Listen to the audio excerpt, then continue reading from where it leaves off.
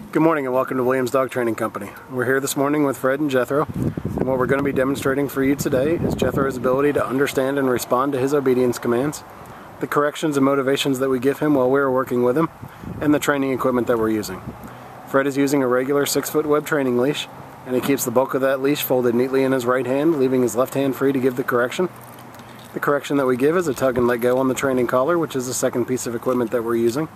Jethro has been fitted with his own personal training collar, and we'll show you the proper way to use this during your one-on-one -on -one lesson. As you can see, Jethro is sitting very nicely on Fred's left, which is where all our obedience training is done. The first exercise we're going to demonstrate for you today is heeling. Heeling is proper walking on a leash. Fred and Jethro are taking off doing that now. The command is Jethro heel. We've also incorporated into this an automatic sit. Whenever Fred stops his feet, Jethro will sit and wait for another command. Here's a sit. It's important during heeling that Jethro does not pull ahead of you or lag behind. He should remain nicely on your left hand side. There's another automatic sit there.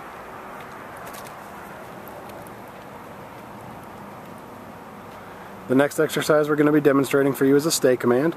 The stay is a hand and voice command. Fred is going to use the open flat of his left palm about an inch or so from his muzzle and the one word command to stay. Stay. He then walks out to the end of the training leash. This is a good oh. exercise. Oop, he broke the command. Stay.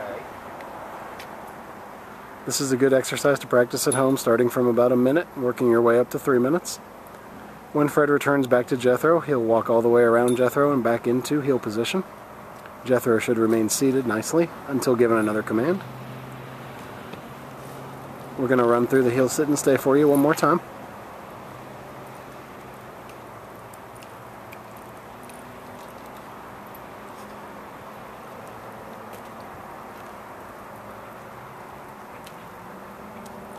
Stay. Fred puts him in a sit stay, out to the end of the training leash. This time, instead of returning back to Jethro, he'll demonstrate the recall or the come command. Calls him in using a nice voice. Jethro should come in and sit nicely in front of Fred. And then we have an exercise called the finish, where Jethro heels around the back of Fred and right back into heel position, seated, seated nicely on his left hand side. Demonstrate it again. Give him a stay, out to the end of the leash. Call him in using his name. He sits, and now he'll do the finish by heeling around the back of Fred and sit nicely right back in heel position. Good job. You should practice all of your commands about 15 to 20 minutes a day just to keep them fresh in Jethro's head.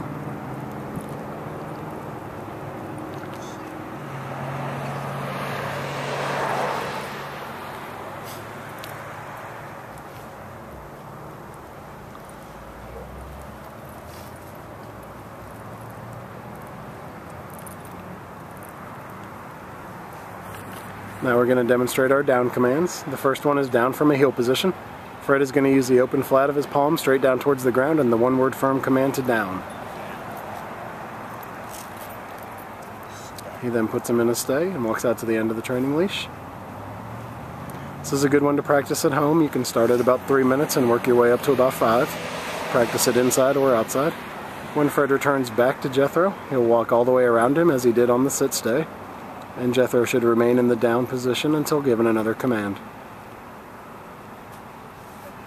And they're off heeling.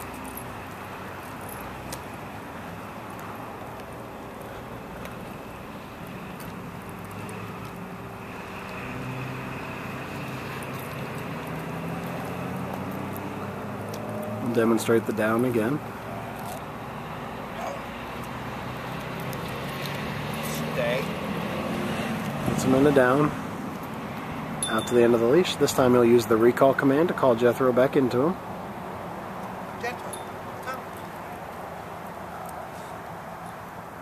Jethro sits nicely in front, and then he'll do the finish around Fred.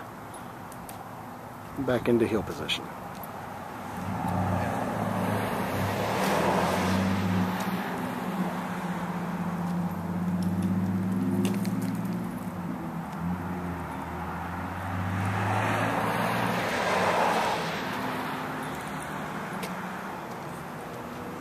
Stay. This time we're going to demonstrate the down from a distance. This is the only time you use your right hand to give the command. Fred will leave him in a sit stay, go out to the end of the leash, and then he'll drop him into a down from the end of the training leash. Down. Excellent job. And then he'll return back to him, walking all the way around and back into heel position.